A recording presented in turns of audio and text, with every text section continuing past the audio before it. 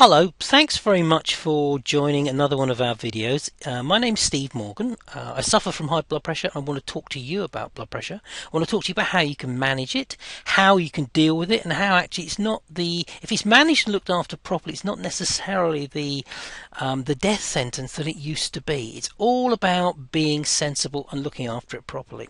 Now, in a lot of cases, people would get diagnosed by high, by doctors, they've got high blood pressure, they've picked up various symptoms, and they immediately think, oh my god, is it genetic? Does it run in the blood? Does it run in the family? Well, you know, you've got to look at a number of things there. I mean, it, it all boils down to the question how prone are you to high blood pressure? Who gets high blood pressure? Who gets hypertension?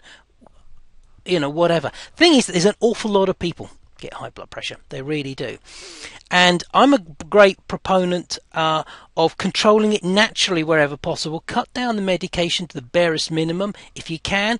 Obviously, you do these things in conjunction with your healthcare professional, but if possible, uh, control it manually. Um, I believe in, in exercise, uh, believe in, you'll see along the bottom of this video, you'll see a URL that I want you to follow.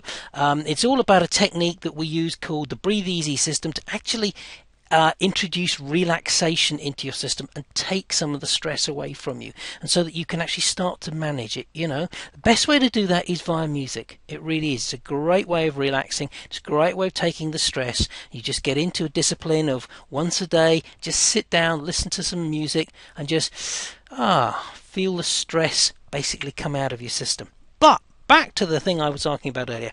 How prone are you to high blood pressure? A lot of people get high blood pressure, really do. They reckon probably that in the United States between 50 and 60 million people have got high blood pressure at any one time. Frightening thing is, a large number of them don't know they've got it. And that really is. So, you know, if you think you're suffering from a number of symptoms, if you think you're not feeling 100%, bit irascible, bit short tempered, whatever, go and see your medical professional.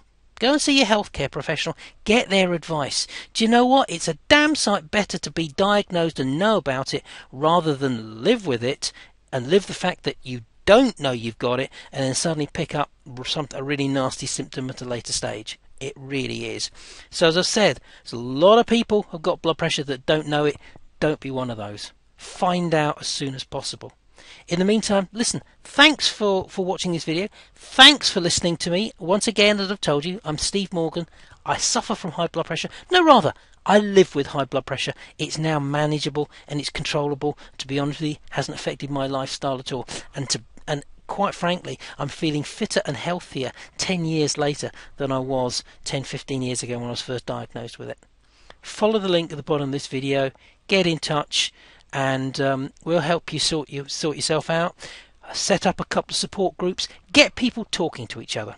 Thanks for your time. Speak to you soon. Bye bye.